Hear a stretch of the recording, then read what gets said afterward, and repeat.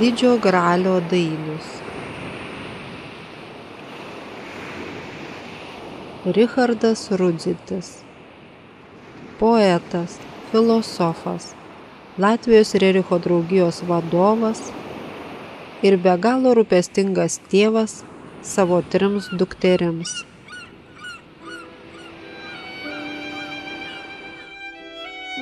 Jis iki šioliai gyvas mūsų širdyse savo kūriniais. Čia žvaigždės kalbasi su Dievu, čia saulė kaip tikra sesuo, čia amžiai prisilies širdim prie tavo sielos ir nusineš į tolius.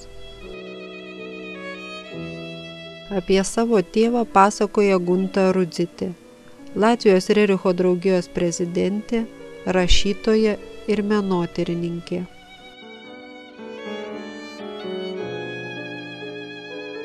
Nuo pat vaikystės Guntos gyvenimas siejasi su Latvijos Rericho draugijos istorija ir veikla. Ji pamena daug ką.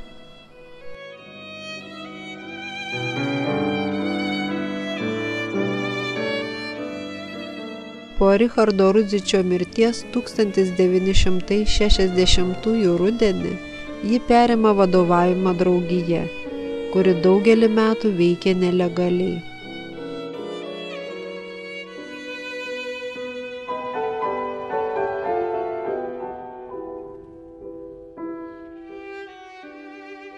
Jie išsaugojo mums neįkainojimus Richardo Ruzičio archyvus.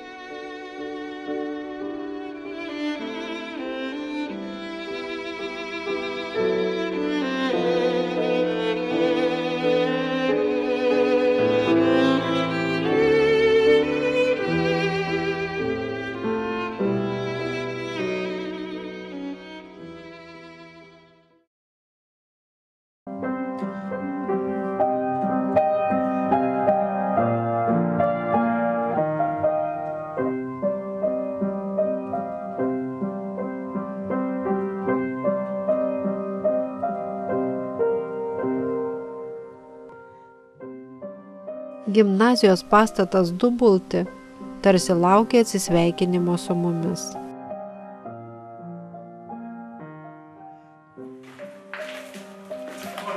Tai jų pačių gimnazistų sodintas sodas, lygiai prieš šimtą metų.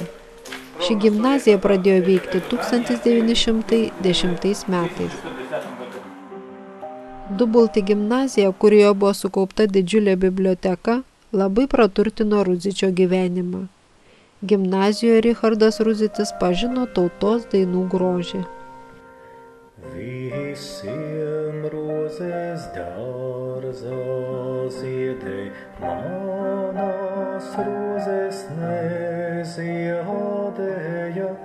Visiem rozes dārza ziedē, manas tos rozės neziedai. Nočiuč pože on piše Tagorui. Būdamas 23 jis rašo Tagoriai, kai šis viešė Austrijoje ir sulaukė atsakymo. Gerbiamas ponė, viskas, kuo aš galiu padėti jums per atstumą, tai parašyti keletą žodžių. Ir vis tik tiltas visada statomas iš dviejų pusių Pirmą laišką tėvas gavo iš Nikolajos Konstantinavičiaus, padėką už knygą, kurią tėvas išleido. Brangus Richardai Jakovlevičiau, šventėm gavome paskutinį paketą su ugniniu pasauliu, nuostabiai įrišta. Širdingai ačiū už tokią dovaną šviesiai dienai. Dėl budizmo pagrindų. Tai žinoma perdodu jums, kaip draugijos atstovui, visas teises vertimui į latvių kalbą. Mums reikia būti pasiruošusiems dar vienam didžiam reikalui – muziejaus atidarimui. Rerichas paskyrė mums keletą dešimčių paveikslų. 1931 savo dienoraštį užrašo Richardas Rudzitis. Muziejaus atidarimas įvyko 37 spalio 10 dieną. Pabaltijo šalių draugijų kongreso metu.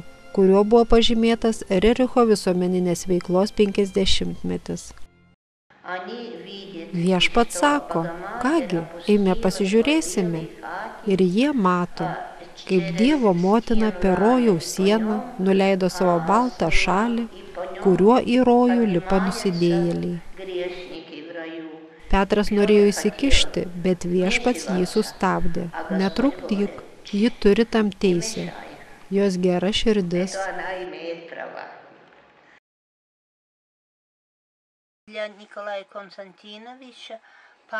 Taikos paktas dėl kultūrinių vertybių išsaugojimo karo ir taikos metu Nikolajui Rerichui buvo viena iš svarbiausių viso gyvenimo užduočių.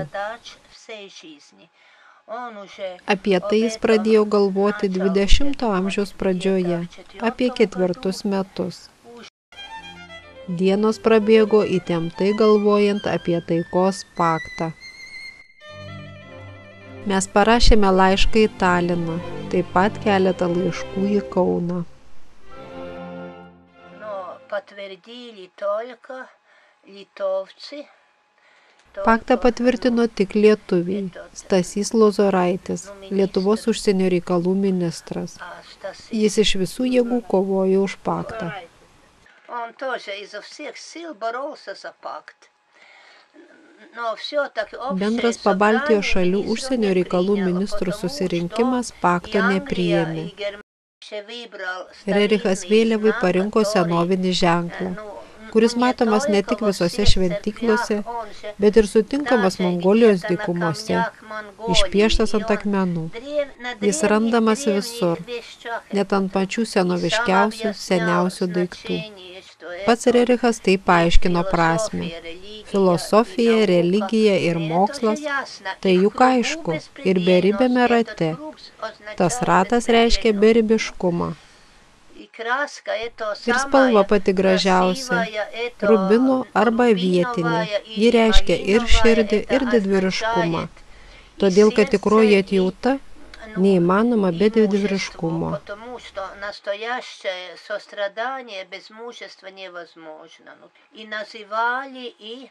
Taikos vėliava dar buvo vadinama ir raudonuoju kultūros kryžiumi.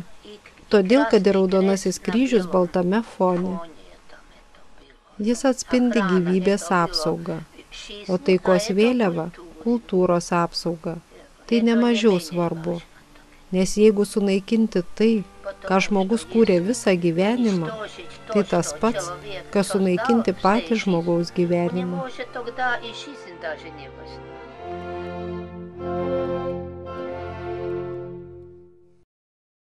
Aš atsimenu, kad 45-ais kai kurie draugijos nariai mirė iš bado. Atsimenu, kaip vieną kartą mama gavo vaistinėje žuvies taukų. Kokia grįžo džiaugsminga, kepė blynus. Ir kai po karo darėsi gyventi lengviau, prasidėjo areštai. Ir kad išgyventų, jis rašė eilėraščius. Ten daugelis rašė eilės ir ne poetai, o tėvas juk buvo poetas. Jis rašė ir eilėraščius, ir esė. Ant popieriaus neleisdavo rašyti. Net laiškus buvo galima rašyti tik stebint prižiūrėtojui ir tik du kartus per metus. A tada on, on na Todėl jis cheminiu pieštuku rašė ant medžiagos keutelių ir jas įsiūdavo po vatinuko pamušalu. Tokiu būdu visus užrašus jis parsivežė į namus. Būdzariņu nolauzusi, būdzariņu nolauzusi, tāds taigā tu sidrabuota si drapua. Rericho gatvė prasideda prie Rusijos pasiuntinybės Rygoje. Tai pasiuntinybių kvartalas.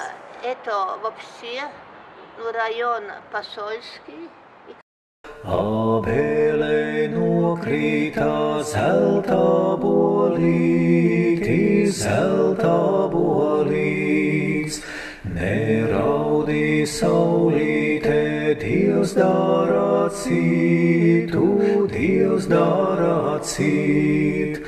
No vārā, no zelta, no sudrabiņa, no sudrabiņa.